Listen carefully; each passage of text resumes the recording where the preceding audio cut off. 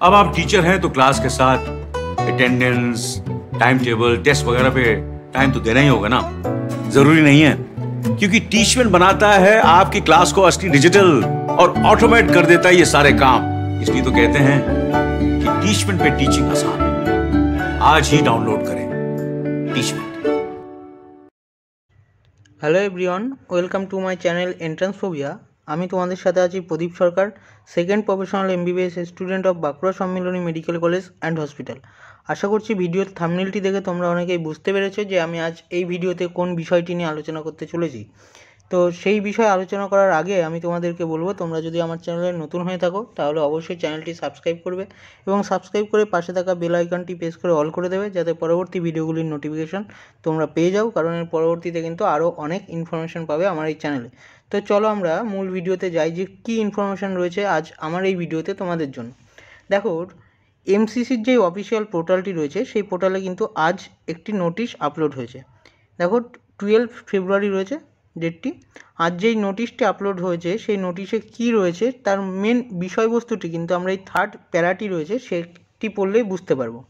তোমরা এমসিসির অফিসিয়াল পোর্টালে গিয়ে এই নোটিশটি ডাউনলোড করে নিতে পারবে এবং এখানে যে মেন বিষয়টি রয়েছে, দেখো in this regard it is mention that as a principal the state counselling of is round should be conducted on all India counseling for respective round is complete by MCC of DGHS.